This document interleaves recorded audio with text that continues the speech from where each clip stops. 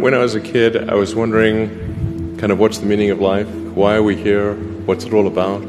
Came to the conclusion that what really matters is trying to understand the right questions to ask. The more that we can increase the scope and scale of human consciousness, the better we are able to ask these questions. There need to be things that make you look forward to waking up in the morning. You wake up in the morning, you look forward to the day, forward to the future.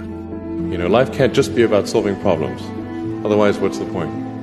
There's got to be things that people find inspiring uh, and make life worth living. We're a multi planet species, and the scope and scale of consciousness is expanded across many civilizations and many planets and many star systems. This is a great future. This is a wonderful thing to me, and that's what we should strive for.